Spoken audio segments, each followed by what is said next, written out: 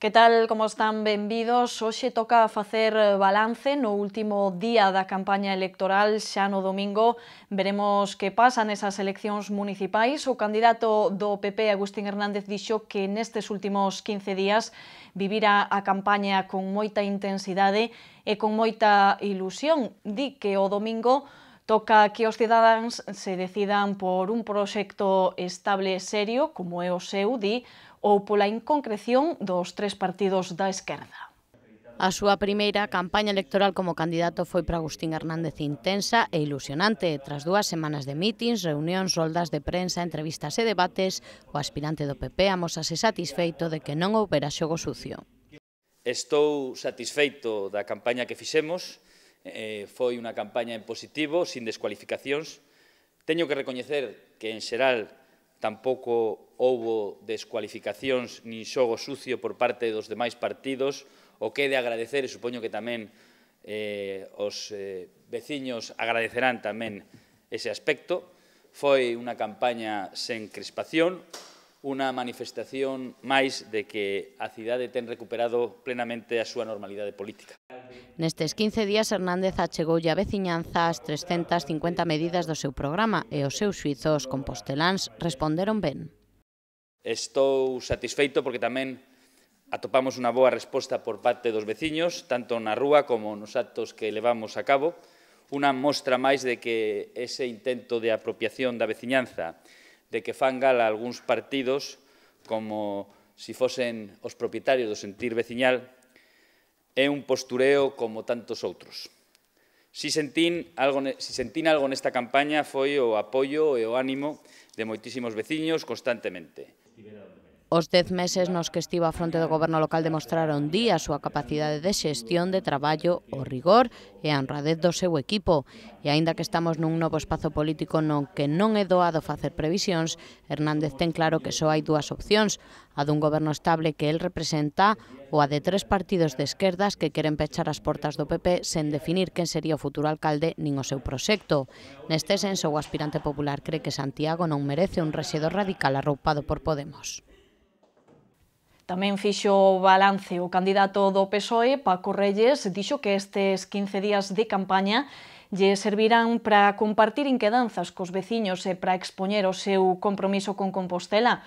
O candidato socialista cree que vai ter moi bons resultados o vindeiro domingo.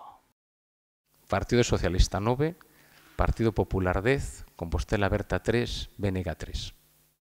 É a predicción que fai o candidato do PSOE de cara ás eleccións do domingo, demostrando que non se fía nin o máis mínimo das enquisas. Paco Reyes di que os encontros porta a porta que mantivo con máis de 2.000 veciños lle fan ser moi optimista, porque os composteláns son conscientes de que ya hai que dar a volta o que pasou na cidade nestes 4 anos. Reyes alienta que o PSOE é o cambio seguro fronte a outros experimentos. O que somos perfectamente conscientes é de que Santiago necesita un cambio. Despois de todo o que pasou, Santiago necesita ese cambio. Pero necesita un cambio seguro. Santiago non pode xa perder outros 4 anos, que probablemente serían totalmente irrecuperables. Santiago necesita un cambio seguro porque non se pode permitir un experimento. Paco Reyes fai un chamamento á participación masiva nas eleccións e lembra que hai 4 anos o PSOE non puido formar goberno por tan só 11 votos. O candidato socialista comprométese a ser un alcalde que defenda as infraestructuras da cidade, a universidade e o consorcio, que recupere a condición de Santiago como capital turística, cultural e científica e que manteña un diálogo continuo ca cidadanía. De feito, Paco Reyes aproveitou este último día de campaña para reunirse ca Asociación de Veciños Compostela Bella. O candidato expuxou o programa socialista pro casco histórico, que inclúe entre outros puntos, a elaboración dun novo plan especial o impulso á Oficina de Rehabilitación.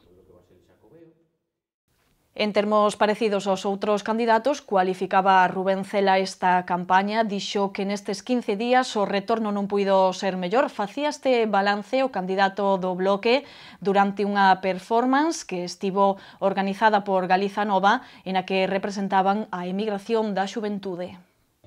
Foron días intensos, cansos, pero productivos. Así define Rubén Cela estes 15 días de campaña electoral nos que o candidato do BNG cree que o retorno non puido ser mellor. A pesar dos poucos medios materiais e económicos, os do bloque puxeron toda a carne no asador realizando moitos actos a pé de rúa, trasladando aos cidadáns o seu proxecto de goberno.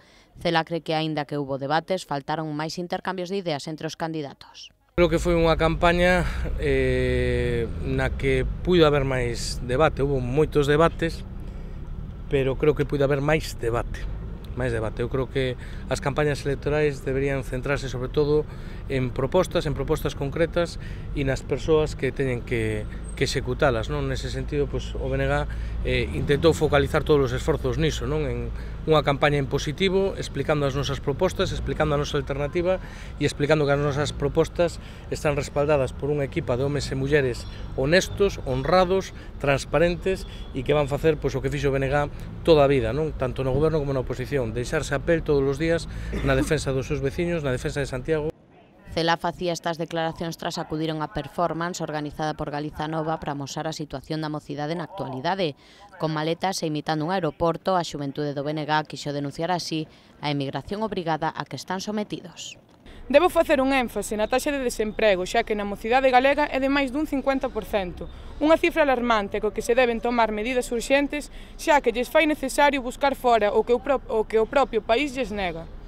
A oferta de emprego para a mocidade galega está encuberta en traballos con condicións e salarios cos que niquén pode afrontar os seus propios gastos, prácticas escasamente ou non remuneradas, nas que os xóvenes traballan como calquer outro empregado, sen recibir tan sequera unha boa formación. Galizanova fai un chamamento especial aos mozos de 18 anos que votan por primeira vez para que apoien a candidatura do Benega que din será a única que mire polos seus intereses. Tamén moi satisfeitos e optimistas están en Compostela Aberta de cara a eses comicios do domingo. Non dubidan en cualificar a súa campaña como a máis imaginativa e participativa. Ademais, o seu candidato, Martiño Noriega, quixo compararse con Son Goku, ese famoso debuxo animado dos anos 90. Di que vai desatar a onda vital para levar o cambio ao Pazo de Raxoi. Unha campaña que mudará o xeito de facer política e de comunicala. Así resume Martiño Noriega o feito por Compostela aberta nestes 15 días, nos que celebraron máis de 50 actos nos barrios e parroquias e dúcias de encontros sectoriais. O candidato está especialmente orgulloso do éxito da liña de co-funding que abriu a formación e ca que se conseguiron máis de 25.000 euros para financiar a campaña. Esas aportacións desinteresadas de máis de 300 veciños fan que Martiño Noriega se vexa como un Son Goku lanzando unha onda vital que mude as cousas en Santiago. Pido que esa maioría social, que a día de hoxe xa configura esa vontade de cambio, sexa canalizada, citando a Son Goku, a través dunha onda vital de enerxía, dunha onda vital de forza, de dignidade, e que con esos dibuixos que víamos cando éramos pequenos e a través de canalizar todo, todo, todo ese espacio humano poidamos eh, o domingo mandar unha mensaxe de dignidade.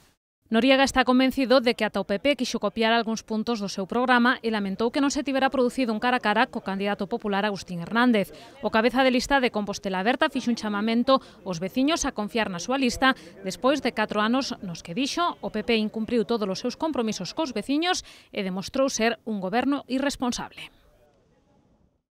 Membros da candidatura, afiliados e simpatizantes de Compromiso por Galicia percorreron esta mañá algunhas rúas do casco histórico dende a Porta do Camiño ata a Praza do Obradoiro fronte ao Pazo de Raxoi. Foi no que bautizaron como Marcha Verde polo Cambio en Raxoi, encabezada polo aspirante á alcaldía Xosé Antón López. O seu obxectivo, facer un último chamamento aos composteláns para que apoien a única formación que asegura o candidato dedicou a campaña a defender un programa deseñado para mellorar a vida dos cidadáns. Xosé Antón López cree que o compromiso por Galicia falou dos problemas de Compostela e por iso está convencido de que a súa formación será decisiva, digan o que digan as enquisas. Estamos convencidos de que vamos a ser decisivos no futuro goberno de, de Rasoy.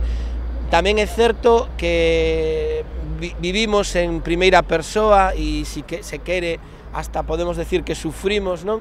Un pouco o que é ser un partido pequeno e desaparecer das enquisas, desaparecer de, dos debates, E tamén queremos decir que seguramente non querían debatir porque un é alcalde de Teo, outro ten un billete xa preparado para Madrid e os outros estuveron pois unhos anos na oposición, non exercendo a oposición, senón recordando que fixeron cando estiveran no goberno.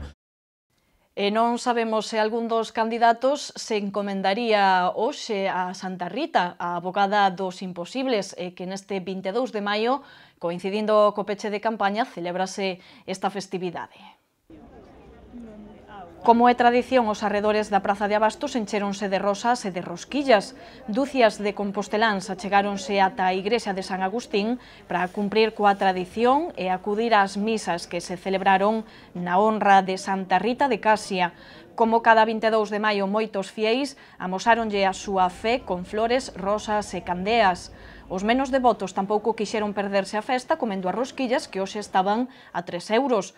A vida desta santa estivo marcada pola caridade e as penitencias. O protagonismo das rosas ten que ver coa historia que asegura que esta flor floreceu a pesar de estar cuberta pola neve cando Santa Rita estaba moribunda.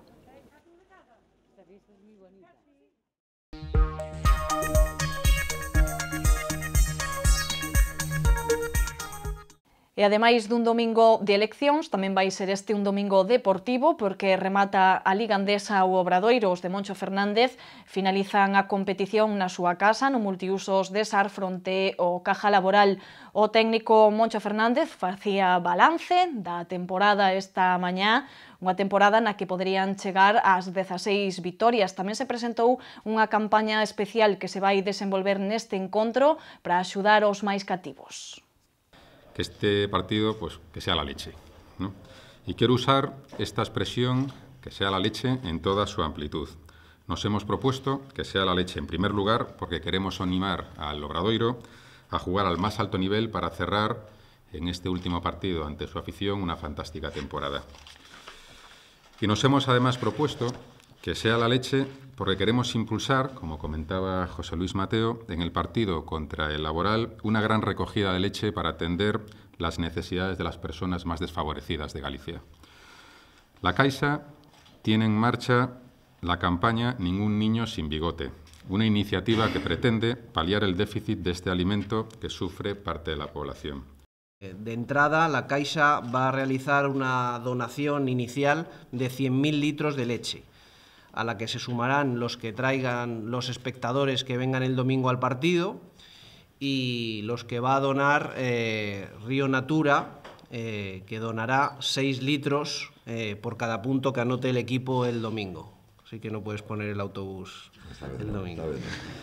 Y, y, sobre todo por, por seguir a competir y a, y a demostrar que, que no nos deixamos ir, non sempre existe esa dúbida de Cando perdes de, bueno, agora está relaxado, xa non queren competir, bueno, non é certo, non? Se, seguimos a facelo, gañamos a casa a Unicaja e gañamos fora o Andorra, non? A cada 15 victorias, que poden ser 16, se somos quen de, de facelo este domingo, pois tamén é para estar moi ledo, porque despois da, da temporada do playoff é a nosa mellor marca, non?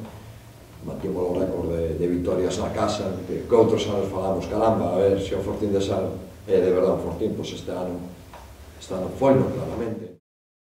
E rematamos este repaso á información como comezamos con esas eleccións municipais e que ao longo destes 15 días de campaña electoral oficial pasaron polo noso plató do Preguntoiro os seis principais candidatos á alcaldía e aquí van escoitar as definicións que facían de si mesmos. Coñecemos a eses candidatos como persoas, como cidadáns. Eu penso que levo moitos anos xa, primeiro desde o momento veciñal, pois falando do mismo proxecto para o casco histórico, para a cidade e mm, como en, en tertulias de, de televisión, é dicir, tampouco eh, a xente sabe perfectamente quen son, saben donde estou, o que opino, eh, os plantexamentos que, que tiven e que teñon e que sigo tendo, verdad, que non, que non mudan para esta cidade, non son un paracaidista que apareceu hoxe aquí, é dicir, levo moitísimos anos traballando desde eidos distintos, non? sobre todo desde o momento veciñal, pola da cidade, consecuentemente penso que saben perfectamente cuáles son as opinións que teño en moitísimos temas da cidade. Penso que sou unha persoa entusiasta das cousas que fago, de todas, tanto das políticas como das miñas eh, actividades profesionais privadas, da miña, da, da, da miña familia, eh, son un entusiasta no que fago. Son un idealista e, sobre todo, eh, son un optimista en canto a que a cidade pode sempre, sempre crecer. E creo que ese entusiasmo pois sempre mm, presidiu a miña faceta personal e trato de levála a todas aquelas actividades eh, que fago. fago.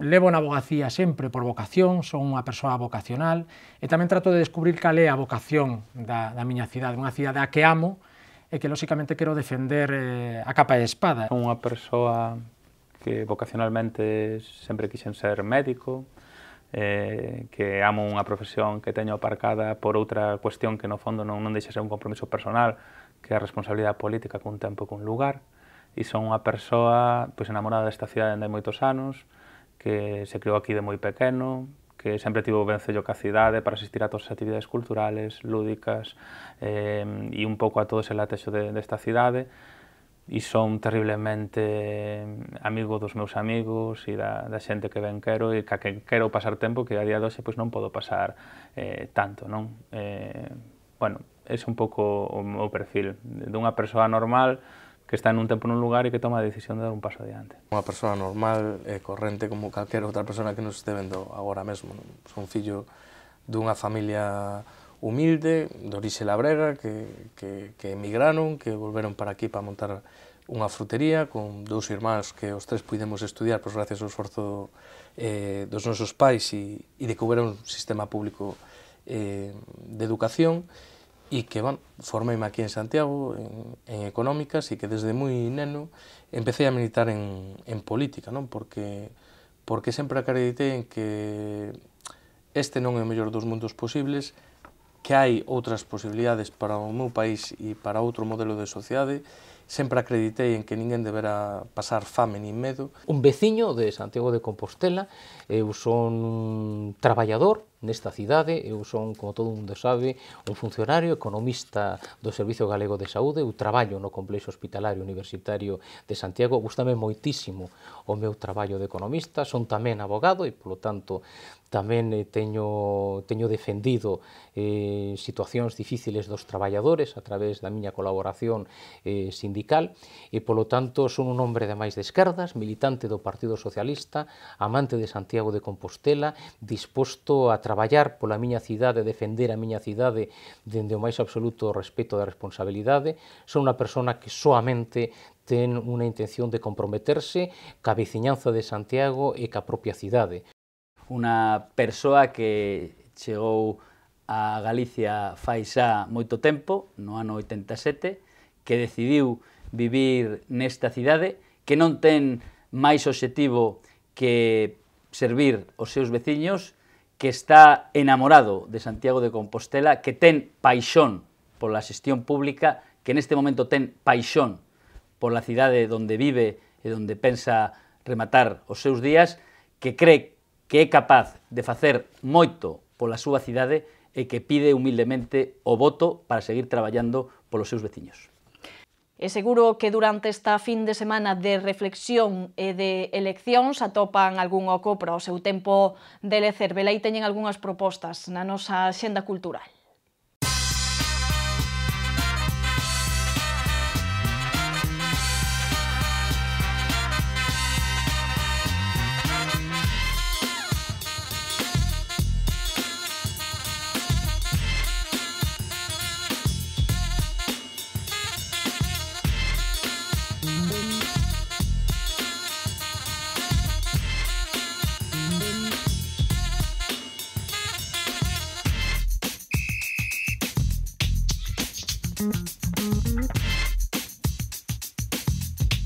Thank you.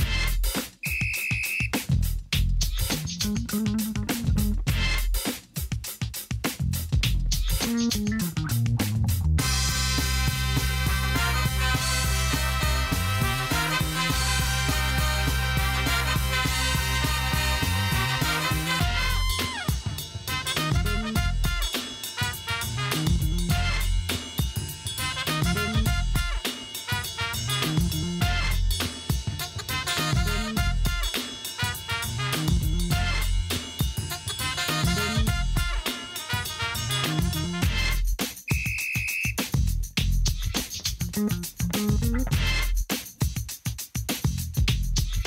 you.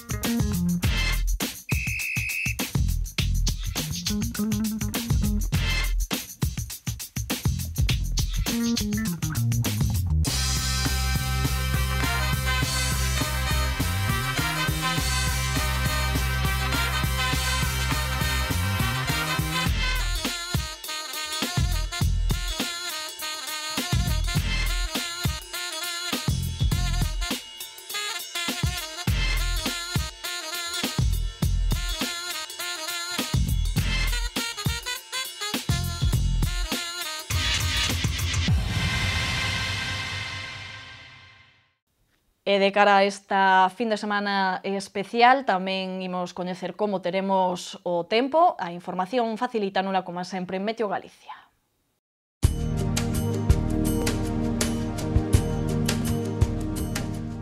Mañá sábado na metade norte de Galicia os ceos estarán anubrados, mentres que na metade sur permanecerán despexados. As temperaturas mínimas subirán, mentres que as máximas quedarán sen cambios.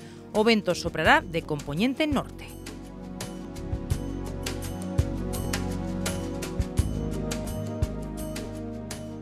O domingo agárdanse ceos pouco anubrados ou despexados, con máis nubes canto máis ao norte.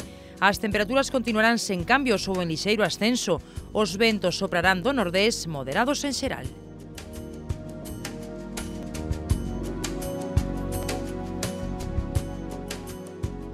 O luns teremos os ceos parcialmente nubrados na metade norte nas primeiras e últimas horas da xornada, quedando pouco nubrados ou despexados no resto.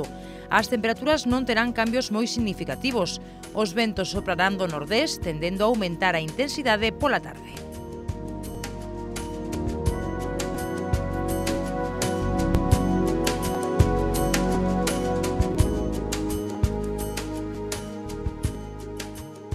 Mañá sábado teremos en Compostela unha xornada de nubes e claros. As temperaturas continuarán sen cambios, con 9 graus de mínima e 18 de máxima.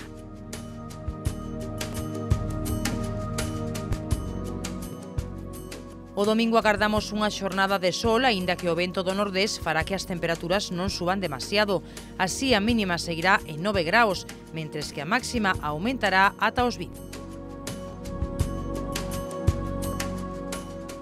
O luns continuará a influencia anticiclónica deixando unha xornada con algo de nubes pola mañá e ceos despexados pola tarde. As temperaturas continuarán sen cambios.